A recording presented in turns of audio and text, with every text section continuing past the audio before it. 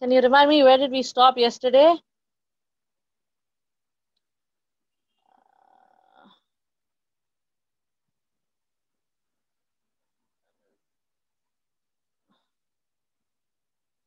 I'm not sure what people are saying about Tamil. Okay. Anyways, where did we stop yesterday? Uh, did I give you? I gave you some homework, no, to complete. What was it? B, page number 106.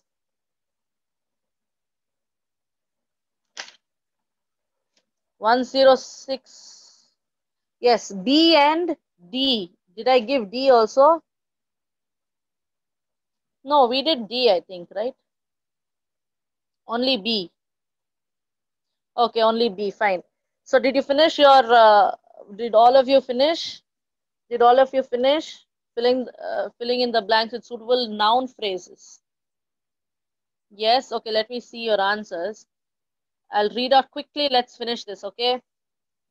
Okay, first one, would you like dash? Would you like dash?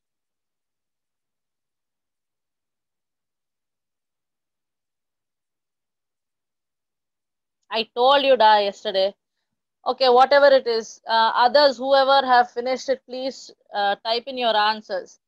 Would you like dash to get a? Would you like to get a tea? Would you like to drink a tea? Is much more appropriate. So please fill in. Would you like to drink tea? Okay. Get a tea. No. Would you like to drink tea? Okay. Second one. Dash gives me no pleasure dash give me yes a cup of coffee okay uh, for example uh, would you like a cup of coffee? Would you like to drink tea? Would you like a cup of coffee? Yes. Okay. First one. Cup of coffee. Okay second one. Uh, dash gives me no pleasure. Dash gives me no pleasure.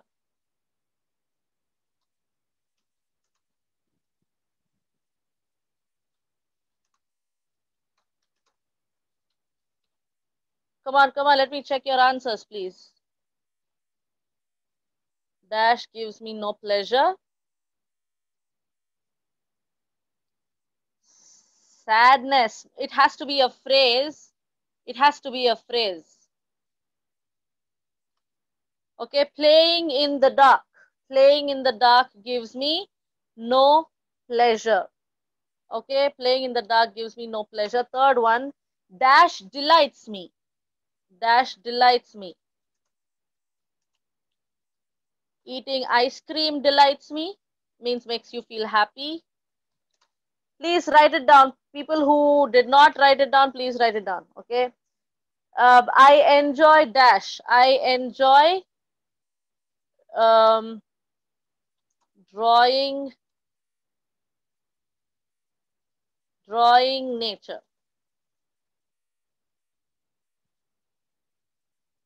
Drawing sceneries. Better to write sceneries. Okay. I enjoy drawing sceneries, watching cinemas, hearing music. I enjoy to hear music. No, I enjoy hearing music. I enjoy playing with my friends. All right. Okay. I enjoy playing with my friends. So kindly um, jot all these points down. Cats like, cat, cats like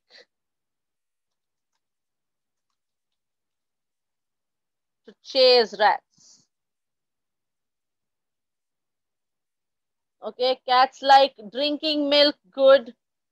Cats like to drink milk. Cats like to chase cat, uh, to, to, to chase rats. Okay, he wishes, he wishes. Cats like to eat fish. That's good. Okay, he wishes dash. He wishes dash.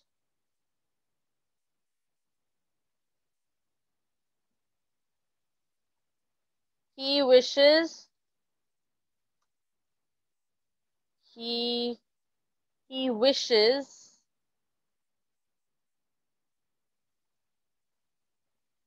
okay he wishes to play with his friends. He wishes to get his favorite toy.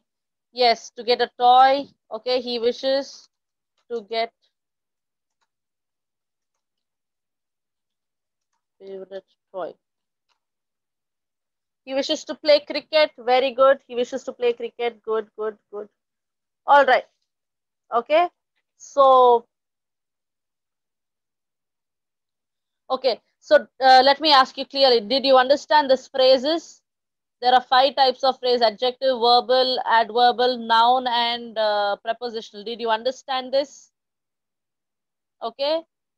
Okay. If at all you find a noun, that phrase is noun phrase. If at all you find something describing the noun, then that phrase is called as a adjectival phrase. Okay, there's something that talks about a verb or an adjective, that is an adverbial phrase. Okay, time, place, uh, manner, all that. Okay, if at all you have a preposition in front of a noun phrase, that whole thing along with the noun phrase is called a prepositional phrase. You need to have preposition also along with the noun phrase. Then only it's a prepositional phrase okay and verbal phrase you we know it the auxiliary verb will be there main verb also will be there okay these are called as phrases so don't get confused with any of the uh, any of the phrase all right? Now the next one is clause. We have already done clause um, much before okay? That is i think when we were doing after 20 years or merchant of venice somewhere uh yes sentences and clauses very good okay? So we had done with clauses. But the, the clause that we're going to study here in your grammar book is a little different. It's an upgraded version of the clauses that we've did we've done much before okay we've learned only about independent and um, dependent clauses okay but now we will learn there are other types of clauses that we haven't seen uh, in the previous uh, class all, all right so we know what is a dependent clause. We know what is an independent clause. All of you open your books to page number 107. Okay. And we, we learned that clauses that require uh, the help of another clause to give it a complete meaning is are dependent clauses. Clauses that can stand alone and give it a complete meaning without the need of any other clause is called as an independent clause or a main clause. Okay, it can stand alone in itself. It can also make a simple sentence in itself. Okay, and we said these clauses are joined together with the help of conjunctions. Okay, if there are two independent clauses in a sentence, it is joined by a coordinating conjunction. And if it is, um, we said that if there is one main clause and there are two or more dependent clauses in the sentence, they are joined together by subordinating conjunctions. Okay, fanboys is coordinating conjunctions, subordinating conjunctions, a white bus. All right. So there are now, apart from that, uh, there are three kinds of subordinate clauses. There are three kinds of subordinate clauses. Subordinate clauses, what? What are subordinate clauses? Clauses that depend upon the main clause. All right. So there are noun clause, adjective clause, and adverb clause. Okay, noun clause, adjective clause, and adverb clause. Now we know what is a noun. It's a name of a person, place, animal, thing, idea. Any any name name is um, noun. Adjective that which describes a noun. Adjective. Adverbs that which adds more meaning to the verb to the adjective and to another adverb is called as an adverb. Clear? Now let's see each of them in detail. Yes. Now what is a noun clause? A noun clause uh, behaves like a noun. Okay. A noun clause behaves like a noun in a sentence. Okay. It acts as a subject or the object of the uh, finite verb okay, uh, is called as a noun clause. All right, let me share the screen with you so that you can understand better. Ma'am, can I please change uh, share the screen?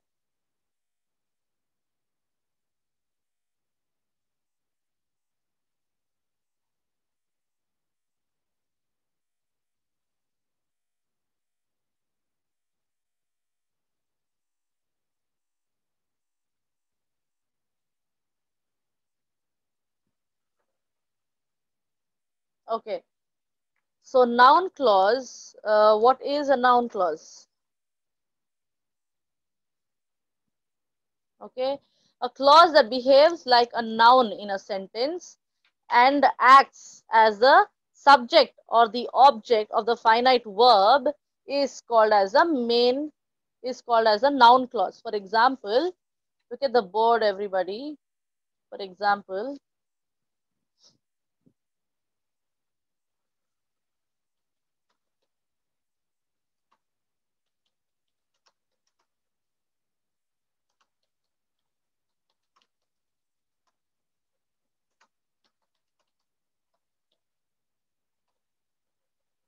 okay?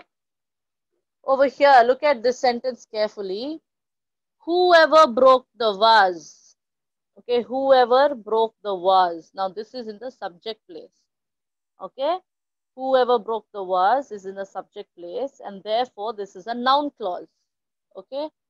Vase is a noun. Okay? Somebody they broke the vase. Okay? So who whoever is also is a subject okay this full thing is a subject right? We also read that subject is not only a word it can also be a phrase. So whoever broke the vase is the noun noun uh, clause. Okay i'll give you another example with the object. Um, for example my dog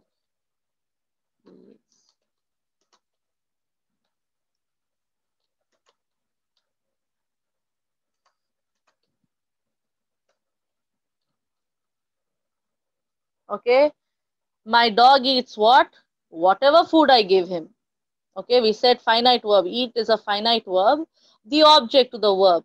Like just like a transitive sentence. In a transitive verb this eat is a transitive uh, verb. Okay? So my dog eats eats what? Whatever food i give him. This is the object to this verb. Eats. Okay? So this is a noun clause. Eats whatever food i give him is a noun clause. Okay, so the, the noun clause can be a complement of the verb or an object to a preposition. For example, um, one second.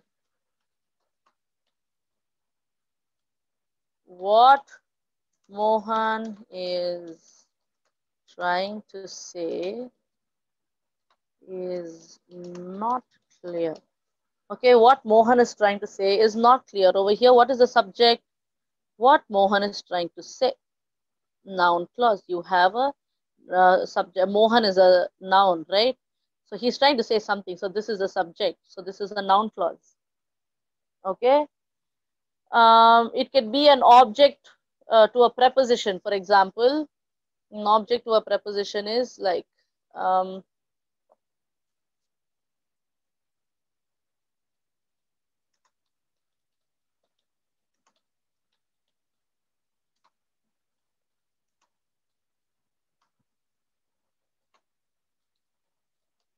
okay your promotion depends on how you work. On how you work. On is a preposition. It's an object to the preposition. That can also be a noun clause. Okay your propo uh, your promotion depends on on what? On how you work. Okay so that is a noun clause. Okay also if you have a verb and a complement to the verb. For example,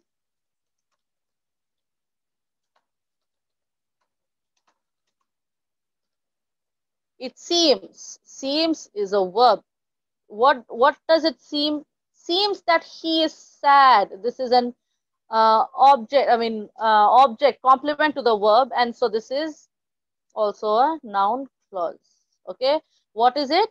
It seems. So look for the verb you found the verb. Now what does it seem? It seems that he is sad okay?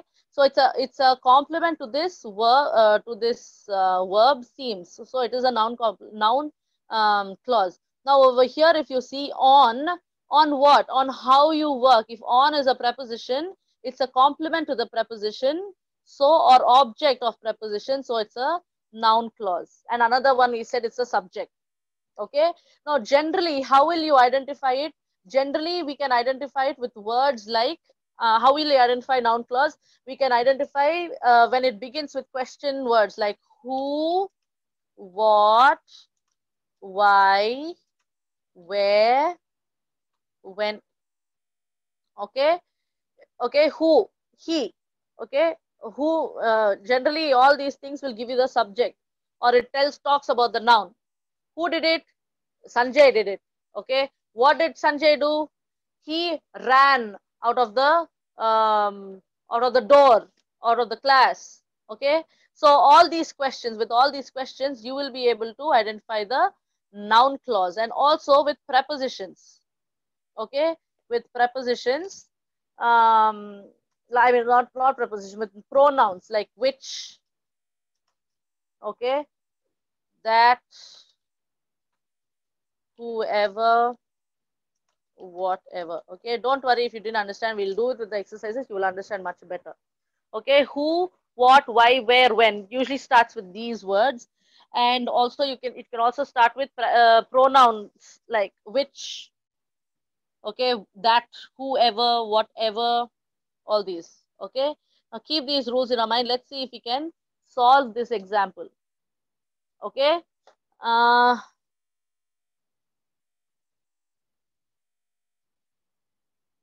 Okay. First one.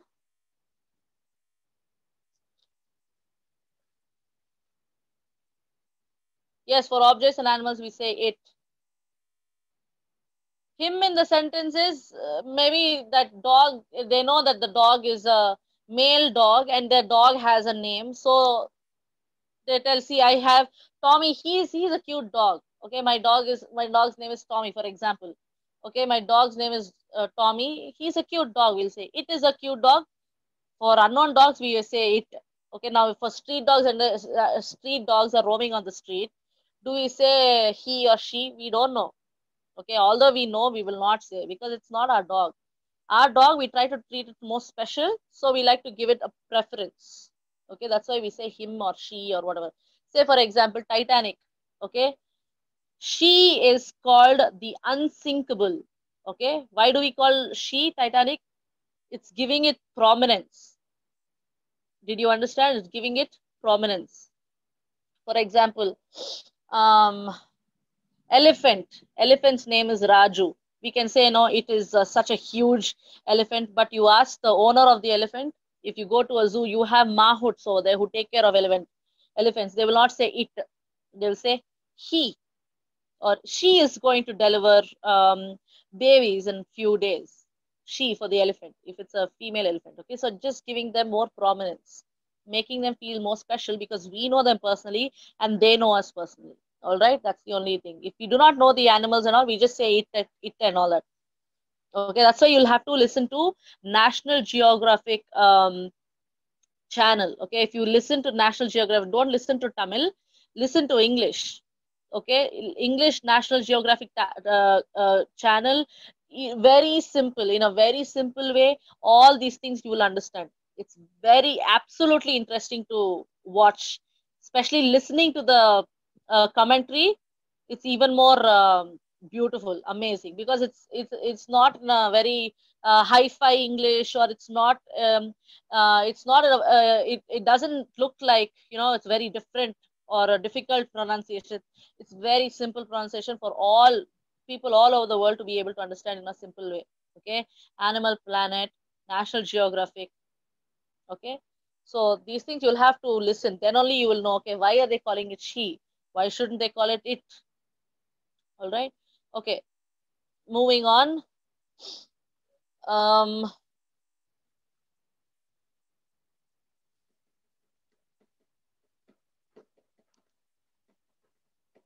yeah where did i stop? I forgot. Yes okay. So let's do this exercise um, a a a first one. I fear that i will fail. I fear that i will fail. Now try to give me the answer noun okay?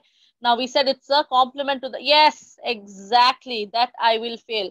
Why do you think that i will fail? Because we said it's a complement to the verb right? I fear. Fear is a verb. Okay, what do you fear? That I will fail. Okay, it's complementing that verb fear. I fear what? Object to the verb. Okay, I fear what? That I will fail. Simple. So underline that that I will fail, that entire thing and put it as a, uh, yeah, that's a noun clause. So we are underlining only the noun clause. So just underline that and leave it so that we know that it's a noun clause. All right. I will fail as the answer. I hope you understood. I hope things are clear to you. One second. Okay. I hope, uh, sorry. I fear that I will fail. Okay. Second one. Please listen to what I say. Okay. I, I told you now it's also going to start with question words. Yes. Yes, exactly. What I say is the answer. What I say. Okay, what I say. Please listen. Please listen is a verb. Listen to what? What I say. Okay? What I say. It's starting with, I told you it begins with question words. Okay, so look for all those clues in your sentences. Third one, I don't know what she will do. I don't know what she will do. What's the answer? Yes, very good. What she will do is the answer. Underline that one. Fourth one, I think you have made a mistake. I think you have made a mistake. Now look for the subject there. I think. I think what? What does she think? Yes, object. Yes, you have made a mistake.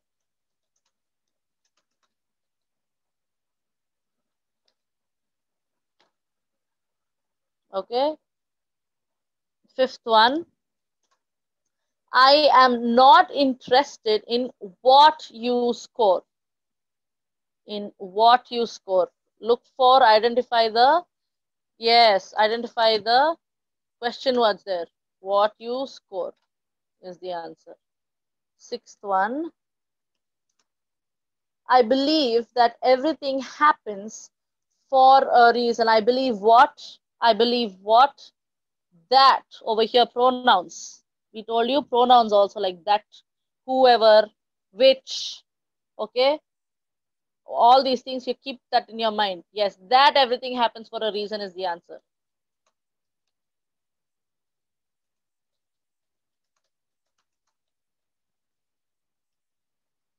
Everything happens for a reason. Okay, seventh one. Whoever thought of this idea is a genius. Whoever thought of this idea. Very good.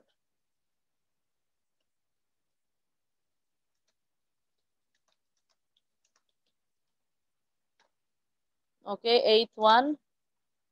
I don't see how you can get home. I don't see how. Is there a question word? I don't see how you can get home in this. Yes, how you can get home in this rain. The entire thing is a clause. Now we are learning about clauses. Come out of that phrase mode. Now learn about the clauses. The clauses means, clauses is, I told you, which have a subject and a verb. So how you can get home in this rain? Subordinate clause. How you can get home in this rain. Good. Okay. So what I want you to do, do what I want you to do is I understand that you guys are answering it properly. Okay. So B is your homework for today. Please do B. Exercise B. Please complete exercise B. You'll have to complete these sentences by adding suitable noun clauses. Noun clauses. So remember noun clauses start with question words. Okay, also preposition uh, pronouns. Keep all that um, rules in your mind. Object to the verb. Okay, or complement to the preposition or complement to, to the verb. And also, what else? Subject, object.